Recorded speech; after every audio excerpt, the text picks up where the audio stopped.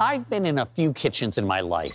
And if there's one thing I've learned, it's that cooking a good dish takes a little time. There's a slicing and dicing, sauteing, and the burning, then starting all over again when you remember that high isn't the only setting on the stove. Now there's one group of innovators who have come up with a way to cook fast and cook a lot because the food is prepared by a robot. Here's Alie Ward to explain. Just imagine dishes as nutritious and colorful as these, served up by a pipe organ style robot. A conveyor belt carries your bowl while the robotic chutes fill it, and fast. Using chef created recipes and robot delivered plating, the dishes are centered around global spices, and the restaurant name reflects that Spyce, with a Y. The Boston based culinary creation is the innovative brainchild of these guys MIT robotics and mechanical engineering alums, water polo teammates, and now co founders of Spyce. This is co founder Michael Farid, and I traveled to Cambridge, Massachusetts to meet him and dig into dining done differently. Take me back a little bit to where this idea first occurred to you.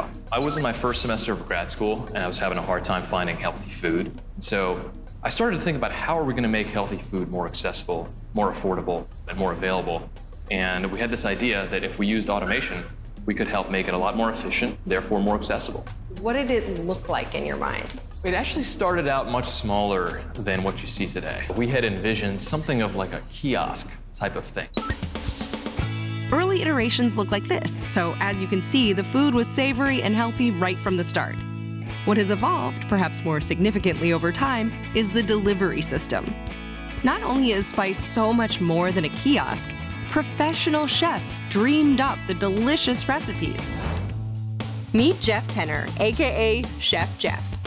The range of nutrient rich bowls and salads he invented include ingredients like salmon or tofu, and breadcrumbs or toasted almonds, cheese or vegan cashew cheese. Robots and chefs, who does what? In our restaurants, there is a traditional kitchen in the back where a lot of the ingredients are sliced and diced and we make sauces and marinades. But then it's the cooking to order and serving of the food that's completely different from what you would experience in a traditional restaurant. And that's where the technology and culinary really come together. Do you have a favorite meal that it makes? We have 11 dishes on the menu, and I have 11 favorites. the menu is accessible through an app, online, or you can order from the in-store kiosk too, like this. I'm gonna go salad today. Great. Ooh, the berry goat mother. Ah, the berry goat mother, yes. Well, I'm gonna go organic tofu. Done.